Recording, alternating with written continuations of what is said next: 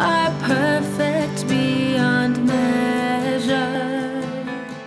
Welcome, dear friends, to another point of view. Uh, this is where we look again at an insight relevant to the sermon that we gave on the Lord's Day of this week. This week, uh, it has been the first Sunday after Christmas Day.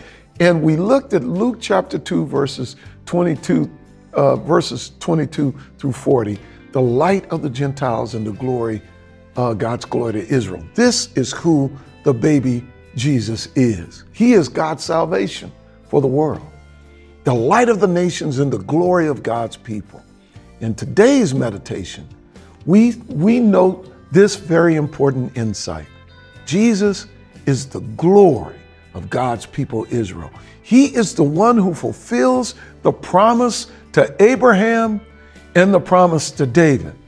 God gives a promise to Abraham in Genesis 12 that in his seed all the families of the earth would be blessed. And he gives a promise to David in 2 Samuel 7 that through his lineage there would come a king who would reign forever over the world. And in Jesus of Nazareth, the baby born to Mary, both of these covenant promises comes to pass. He is the fulfillment of God's people. Jesus, the light of the Gentiles and the glory of God's people. Amen.